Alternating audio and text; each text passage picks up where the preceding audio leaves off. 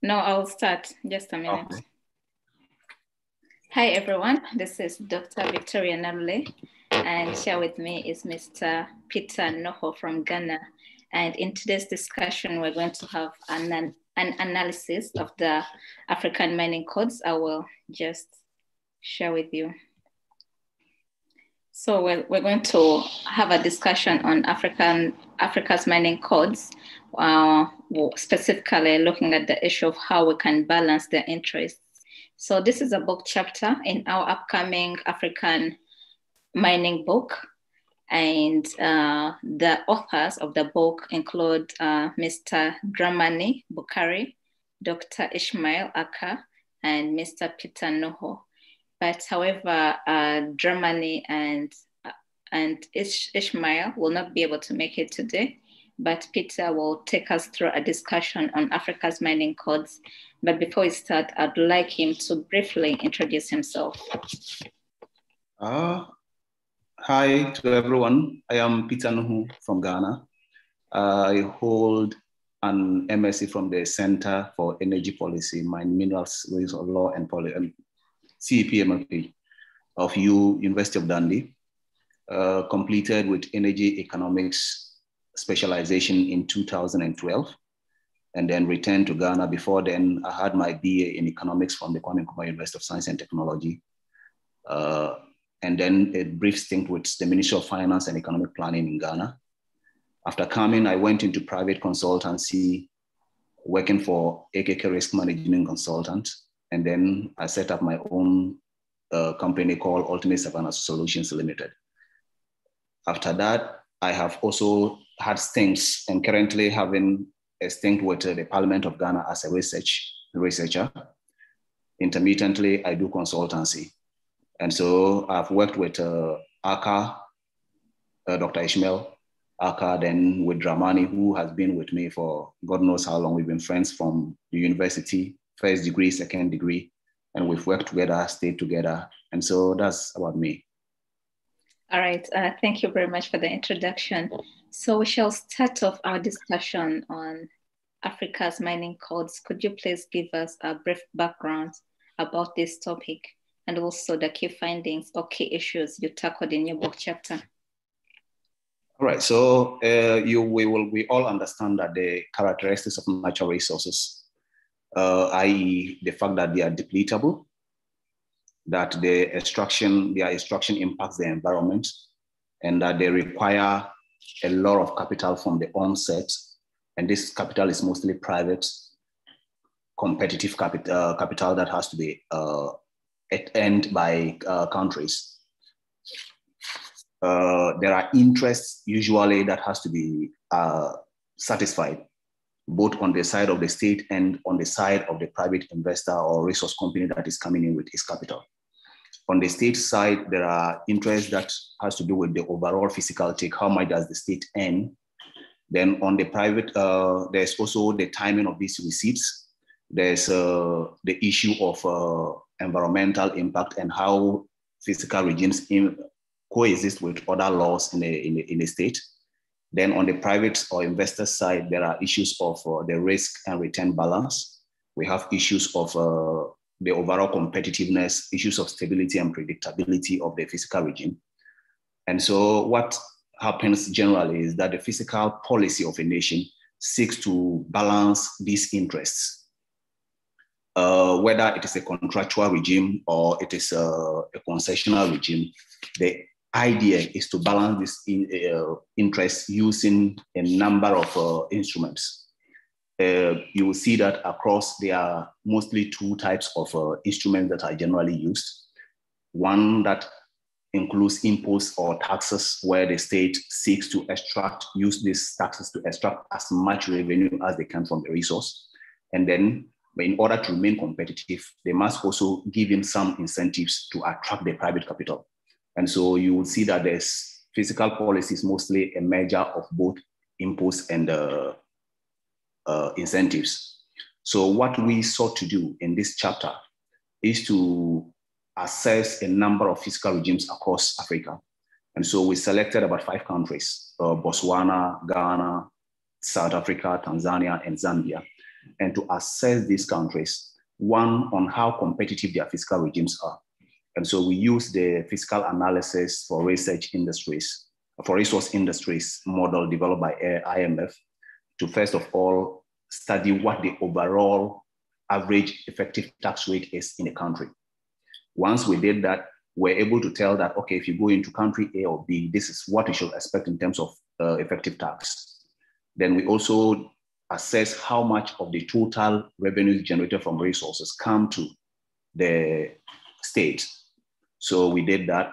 Then we gauged each of uh, the state's fiscal regime against the very interests that we've already enumerated earlier, and to see how they satisfy some of these interests. After that, so that is the first leg of our, our work to assess the balance, how the fiscal regime balances the private and then the state's interest. Once we did that, we went further to look at what local content regulations, how they have been used to maximize uh, the state's own benefits from resources. So principally, that is what we did on, uh, on our topic. Uh, I can go into the some, some of the findings we have, if that is fine.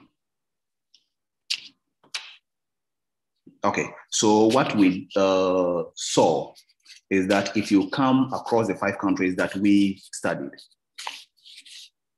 the five countries we studied, Botswana, you realize that in terms of imposts, they uh, they have about the second lowest of the five countries that we we we we, we assessed. You see that their uh, uh, uh, corporate income taxes are about 22% for residents, and 30% for non-residents. They have a royalty rate that uh, runs between 10, uh, 3 and 10% and is charged on gross value. They have a withholding tax of 7.5% uh, to 15%, a VAT of 12%, but they try to, to balance this with a, a number of uh, incentives, including the capital allowance of 100% in year, the year that the cost is incurred we have unlimited loss carrying forward. We have, so total, you have the effective interest rate of about 55%. And then the government share of or fiscal take of about 37%. You just oppose this with Ghana, that has an, a corporate income tax of 35%, uh, a royalty of 5% on gross turnover, a withholding tax uh, 7.5 to 15%, uh, capital allowance 20% straight line. And you see that the effective tax rate in Ghana is 57% with a government share of 38%. So government Ghana of the five countries is about the fourth highest that we have. You come to South Africa, which is which uh, presents the lowest imposts and then uh, effective tax rate. You will see that total effective tax rate in South Africa is about 53% with a government share of 36% uh, that is lower than all the other countries that we've assessed. Uh, Tanzania is about the highest with a, a company uh, corporate interest rate of 30%, royalty running between 3 and 6%, but effective tax rate of about 60%, and a government share of 41%. That makes them the highest. And so we looked at this to tell you that if you are going into this country, this is what you should expect and this is what you should expect. So those are some of the findings we, uh, we have. We can go step by step later as the questions come to look at how they try to balance the various interests, like I said earlier. All right, uh, thank you very much, Peter. So I'll, I'll ask my first question because um, when you look at Ghana, it has had several mining codes and several mining laws. And we we categorize the mining codes into three generations. We have the first generation of mining codes, we have the second generation of mining codes, and also the third generation of mining codes. But in analyzing these codes, um, I'm basically referring on from my research, my, from my mining book, we noticed that the fiscal regime has been changing considerably because in the first generation of mining codes, that's when the countries were still under the influence of colonialism. And also, in most cases, these countries never benefited in terms of taxes from the mining sector. And it's one of the reasons as to why um, most of the countries with mineral resources they've been like historically they've been the poorest. So my question is, because obviously things have changed with the new laws, with the new mining codes. As an economist, um, what is your opinion with respect to the fiscal regime in the mining sector and how it is being reflected in the mining codes? Uh, do you think the share the countries are getting or the host governments are getting from the minerals and mineral development, do you think the share right now is fair enough for us to uh, see or even uh, witness economic development driven from the mining sector? And uh, as you're answering this, obviously, you can uh, draw examples from the different countries you've analyzed and also um, from your expertise and as an economist to highlight some of the key issues that African governments should consider with respect to the fiscal regime in the mining sector. All right. So if I get you first, we are looking at fairness yeah. uh, of, of the regimes. Mm. Uh, like you indicated, we have had a history of changes. And uh, anytime we've had to change, it has been as a result of the fact that this uh, general citizenry of a country have risen up to demand that there are changes to the fiscal regime because it does not satisfy the state's interest. And uh, what we've had is uh, that come into the country or uh, uh companies that come into the country. And because, hello, my internet seems to be back at it again. Uh, I, I lost you a bit. I hope my. Your internet was bad, so I decided to remove my video to see if it will be better. but I'm here. Oh, okay. Yes. yes. I All can right. you. Right now, it's okay. good. Mm. Okay. So, what I'm saying is, uh, historically, we've had those changes because anytime we've uh, anytime there is change, that change has been as a result of the fact that the citizenry of uh, each of these countries, like you use Ghana, for example, have risen up to demand that there are changes to these laws because they felt that the regimes are not fairly treating or yielding to the interests of the state. And so you have uh, these demands. And this is as a result of the fact that the share of mining resource, resource revenues to the total GDP or budget of these countries is huge. And so when there's any lack of development, it is traced straight to this uh, mining, mining regimes because the people believe that why do we have these resources and we are not able to attain the development, especially if they juxtapose what is happening in their country with other countries mostly they develop, and even sometimes they, they uh, not so the developing countries. So if you come to Ghana, you have a mining enclave around Obuasi, and mostly you will have the residents just opposing that with uh, Cape Town in South Africa, where they think that the mines mining companies have been able to develop those areas far more than we they have in Ghana. And so the citizenry agitation usually causes this. But although previously you will see that the effect uh, the, there was not too much fairness, recently we have to say that, like I've just indicated, we are having states take as much as 41% of the total share of revenues that are coming into the sector. That aside, we have to also be mindful of the fact that the initial outlay that comes in from the private companies are so huge and that over time the pricing of uh, mineral resources is very volatile. And so you should not expect that we will get a certain chunk, especially if your historical, historical uh, fiscal regimes, your uh, agreements you entered to were entered to previously when you didn't have so much muscle in terms of bargaining.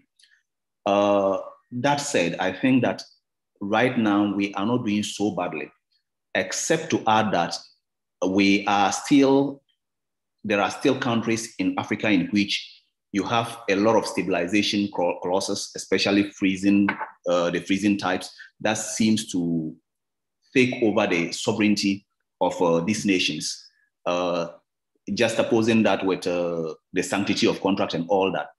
But aside that, so that is the main thing that we have to look at. The first thing is uh, how does how do we use stabilization clauses? Do we even move away from stabilization to adaptation clauses, where we can simply say that okay, let's do economic equilibrium, where the, the, the changes in the fiscal regime or in laws or legislative or market changes affect the economics of the agreement so much, then we can renegotiate. And instead of having a blanket freeze, using a stabilization clause that frees everything and say that the state does not have a say in what happens going forward until the expiration of contracts, sometimes running 25, 50 years. That is not fairness. And those are some of the things that the state might have to consider.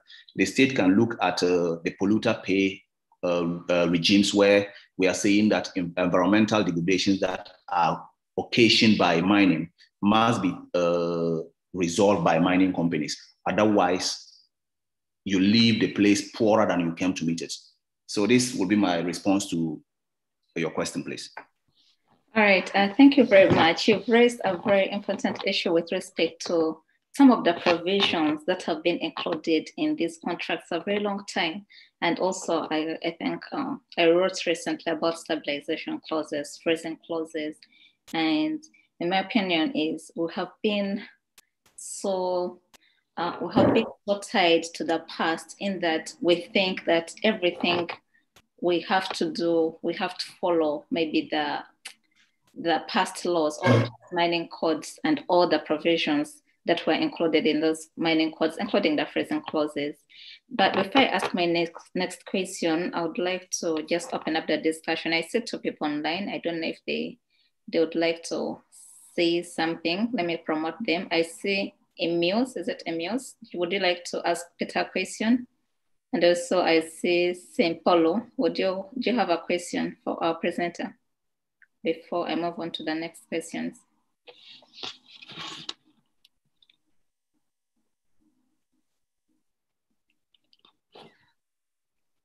Okay. Um, St. Paulo or Emius, do you have any questions or remarks before I move on? All right, so I'll move on to the next question. Uh, so Peter, you've raised uh, very important issues with respect to some of these provisions. And I believe in your analysis of the different mining codes in Africa, we notice a shift in some of the ways we're renegotiating contracts, some of the provisions we're agreeing to, but also we are we are seeing um, a situation where we're being forced, not forced, but we're still holding on to some of the provisions that were in the 1970s, and it is the 21st century. And some of those provisions, obviously, are the freezing clauses and the negative impacts associated with them. But moving forward, I'd like to tackle on the issue of local content in mining codes. So, in your analysis, uh, do you think that the issue of local content is being given extra attention? Because I'm asking this question because obviously with the mining sector, we have large scale mining where we are seeing many foreign companies coming in, and we also have small scale mining or artisanal small scale miners. And the differences in these two sectors, they're so visible looking at the challenges at some small scale miners face, especially with respect to the use of rudimentary methods. And yet, on the other hand, we're seeing lots of mechanization with respect to large scale mining. So I would like your remarks on the aspect of local content. How can African countries ensure that they use the law or even the mining codes and other important instruments to ensure that we localize the mechanization and technology that is associated with large scale mining, whereby we can also see or witness small scale miners employing some of these modern methodologies or technology in their work. Right. So uh, we uh, assessing our from our five countries that we assessed, we realized that there are differences with which we approach local content. Uh, specifically, there are laws. The laws are not uh, uni, uni, uni, I don't know, united in such a way. They, they have not brought, and they are not brought under a, one umbrella like we have in Ghana. In Ghana, we have a local content act. So it covers entirely and directs as to what we want to do. If you go to Botswana, for instance, there is nothing specific on uh, like that. We have some one or two laws disjointed here and there that communicates what their local interest should be. And so, one, the first thing to do is to see how we can unite all our existing laws that speak on local content and probably come up with a, a more comprehensive document for each of these countries or these states to as to how to go about it. But uh, going, uh, going into it, you will realize that what we have spe- uh, specifically done most times is to use local content for aviation. For instance, if you come to Ghana, we have laws that specifically talk about how uh, comprehensive. Yes, there are. We have a, few clauses that will talk about uh, purchasing local.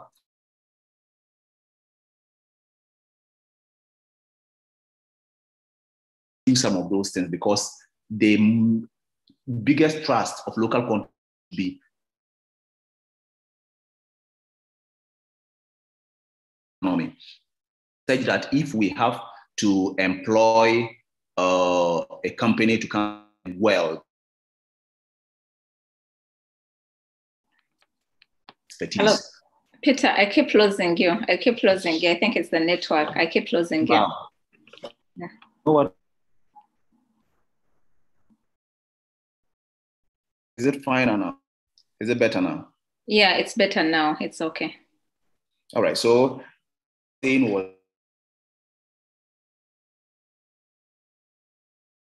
should be technology transfer.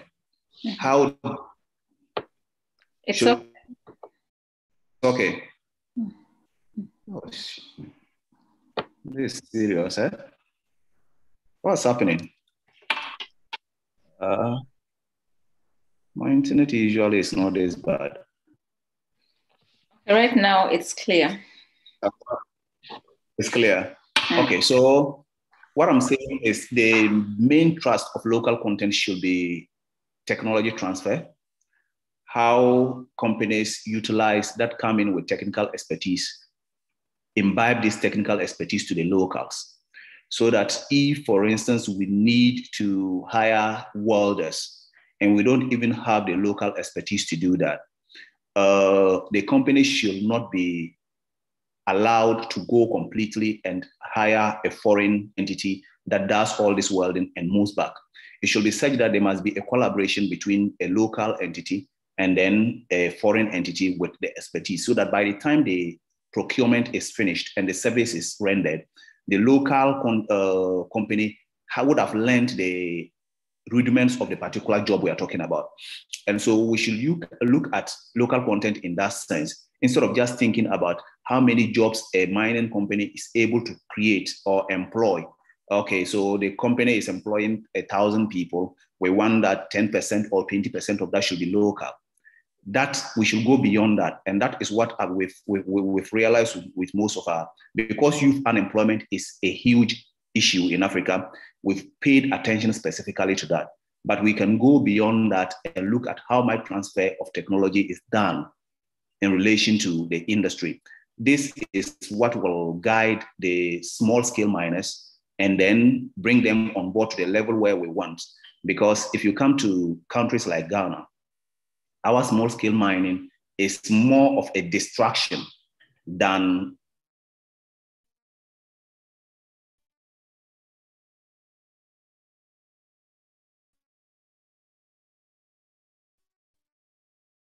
uh, mining.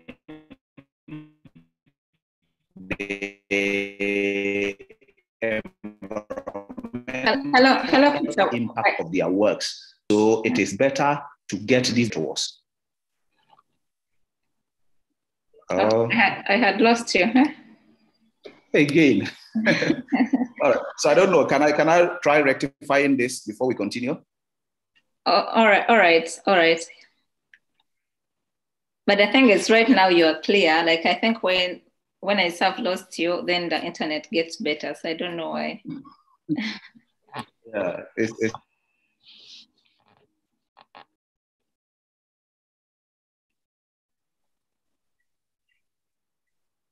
But I think right now it's fine.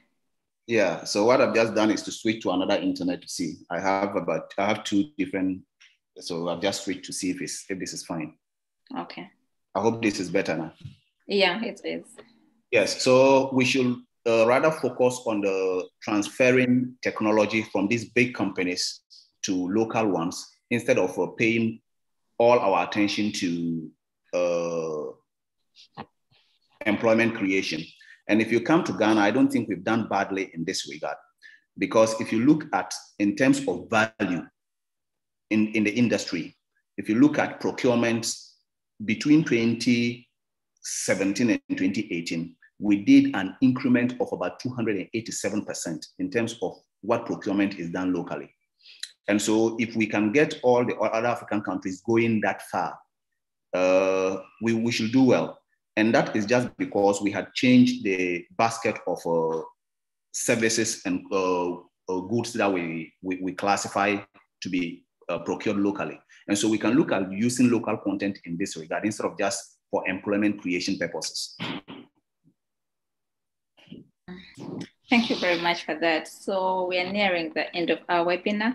Do you have the um, conclude, concluding remarks and key issues or um, key considerations for policymakers in the different African countries with respect to mining codes. What are the key things they should consider? What are the key provisions? So this is just our, conclu our conclusion with respect to this topic. All right, so to start with, uh, whilst we are mindful of uh, fiscal competitiveness we must uh, begin to understand that Africa has come a long way in terms of our mining uh, activities. We've uh, mined in this continent for so long. And so we have gained enough muscle in terms of bargaining power to be able to negotiate our contracts better than we previously did. When we started, we didn't have the geological advantages that we have now right now we have we are dominant players in the in the in the sector. And so we should be able to negotiate if not as much as the western world the us and the uk's we should be able to negotiate as much as uh, some of the big developing nations. And so freezing clauses stabilization clauses should be a thing that we move away gradually.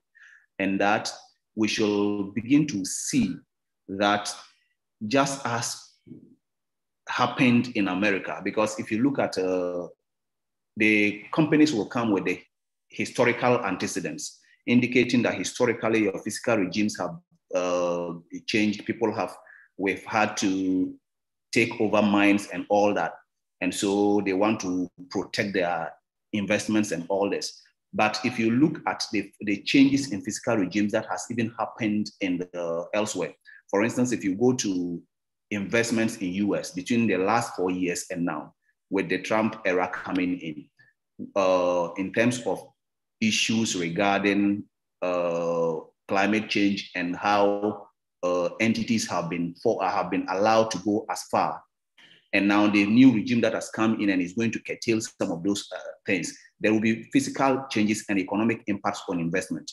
But you will never find a company going to America and telling American that because we've had such major swing, uh, swings in your fiscal regimes, we expect that you put stabilization or freezing clauses in our in, in our agreements.